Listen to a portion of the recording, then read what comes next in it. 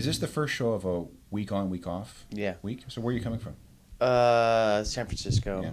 Actually, I well yesterday I left Hawaii to fly to San Francisco, and then overnight in San Francisco, and then we uh we left San Francisco at, at nine thirty this morning to fly out here. Well, no wonder you're feeling sick. How many time zones is that?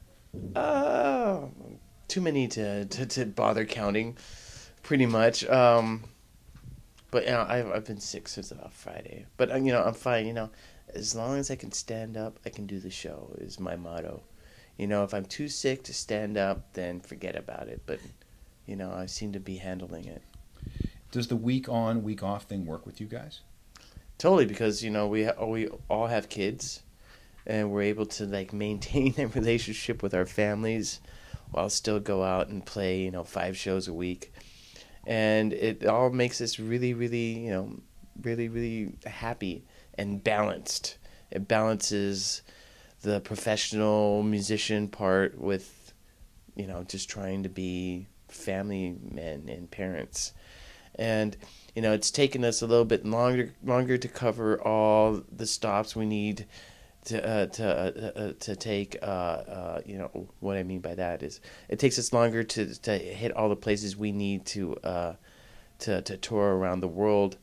But at the end of the day it's worth it because we have our sanity intact. Because what drives us crazy is separation from our families. We figured out after 25 years of doing this.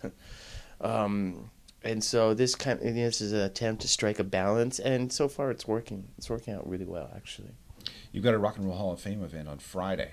yes What's that's interesting because it used to be for years. It was in the Waldorf Hotel, hmm and it was a closed door event, and all the people you know who normally shouldn't be wearing tuxedos wore tuxedos at this Mhm. event, and then there was some sort of massive jam at the end after everybody got inducted. This time, this year, it's different because it's a massive two night thing at Mhm. Madison Square Garden. What, What's your role in this one? well this the thing that's coming up is it, it's a benefit for the rock and roll hall of fame it's not the actual in- induction thing induction ceremony it's more a benefit and uh, you know the the people behind the Rock and Roll Hall of Fame were so impressed by our our, our uh, induction and our attitude toward the induction and and all the good positive things we had to say about the Rock and Roll Hall of Fame that they actually asked us back to to uh, participate in this benefit, and I'm all for it. You know, I'm I'm I'm all for it because. Uh, I'm a big supporter of the Rock and Roll Hall of Fame and keeping the memory of, of rock and roll through the years alive and and uh, you know, I, you know being acknowledged by the Rock and Roll Hall of Fame means a lot to me. So when they asked us to do this, we said, "Oh yeah, absolutely." And so what exactly what we're going to do is it's going it's going to span um, the uh, the the, uh, the history of rock and roll, and what it's uh, attempting to do. This benefit is attempting to um, uh, uh, uh, uh, um, put together current artists with Rock and Roll Hall of Fame inductees from past years, and and so there's a lot, there's these collaborations that are gonna be be working, and um, what what that is is um, we're gonna be playing with with uh with Ray Davies. We're gonna be playing. You really got me with him. We're gonna be playing with Lou Reed. Uh, We're gonna be playing a Lou Reed song, and then we're gonna be playing with Ozzy.